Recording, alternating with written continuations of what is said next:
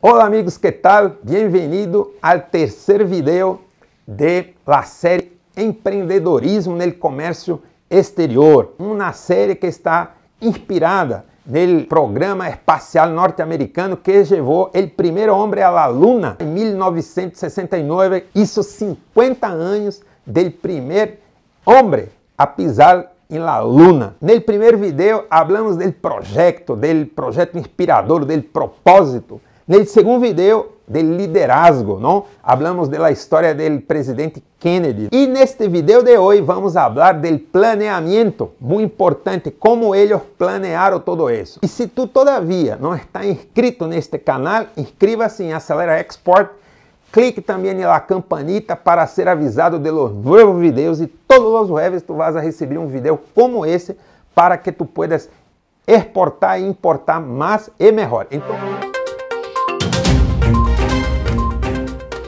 Muito bem, amigos. Então, vamos falar hoje do planeamento. E o número um de um projeto qualquer es el equipo. Y aquí vamos a hablar de este equipo. Hablamos del líder que fue el Kennedy, pero los tres íconos de este proyecto son los astronautas, o Neil Armstrong que tocó el suelo la primera vez, el segundo que fue Buzz Aldrin y Michael Collins que quedó en la nave del módulo de servicio que esperaba el modo lunar llevar después de eso para traerlos a la Tierra. Ese no tocó el suelo, pero foi fundamental para a conclusão do projeto. Pero havia também um outro líder que era o jefe de operações chamado Donald Staton, que era o jefe de la operação de los astronautas.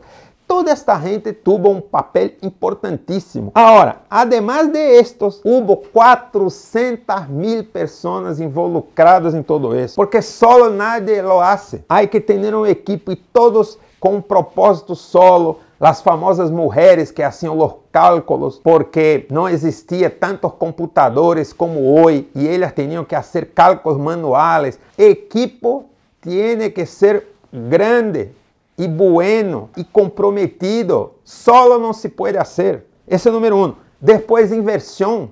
Se estima que Estados Unidos ha invertido mais de 30 bilhões de dólares neste projeto, em los 11 missões Apollo porque sí, tiene 11 misiones hasta que chegou em la Luna. Incluso la primera, a Apollo 1, ni salió del piso. Y lastimosamente los tres astronautas, hubo un incendio y ellos morreram en el piso. ¿Por qué? Porque estaban tratando de hacer muy rápido. Hubo un accidente y se complicó la cosa, ¿no? Hay que tener el paso correcto. Hay que andar acorde al paso correcto. No de más, no de menos. Después, hay que hacer testes, muitas pruebas, o que chamamos atualmente de MVP no mundo comercial, ou Minimal Viable Product, ou seja, um, um, teste, um protótipo antes de lançar algo. As 11 missões Apollo foi para garantizar que haveria sucesso, êxito, não? Então, há que fazer testes. Muitas vezes eu vejo nestes 25 anos que muitos Muitas empresas, muitos profissionais querem alcançar seu objetivo no primeiro viagem, no segundo viagem, não. Há que ter calma, fazer pruebas para depois alcançar o grande. Además, há que controlar e evaluar a evolução de todo isso, porque se tu não evalua os resultados para ir melhorando a lo largo do tempo, o planeamento se vai. Há que corrigir a ruta controlando os avanços de cada parte, não? Quando tu logras o resultado, aí sim, há que comemorar. Incluso tu, tu estás vendo aí no momento que os astronautas regressaram de la Luna, houve uma grande fiesta allá em Estados Unidos, todos desfrutaram muito do momento, do êxito, não? Depois de tanto esforço, que incluso o presidente Kennedy não logrou mirar porque foi assassinado, pero la nação, o propósito da nação foi alcançado. E isso é o que mais importa. Muitas vezes em Latinoamérica, por nossa cultura, nós outros muitas vezes comemoramos antes de lograr os resultados. E esse é um problema, porque como passou acá em Brasil em la Copa del Mundo del ano eh, 2014, Brasil queria muito ganhar estava seguro que ganharia de Alemanha. Al final,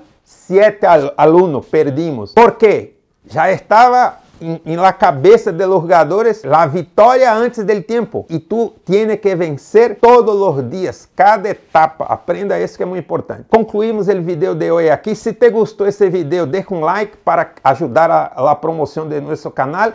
Y si tú todavía no conoces nuestro website acelerexport.com, visítelo para conocer los cursos, para que tú puedas capacitarse para ser um trader de êxito, não? de sucesso, com os cursos como negociação internacional, logística e outros mais. E nos vemos no próximo vídeo. Saludos a todos.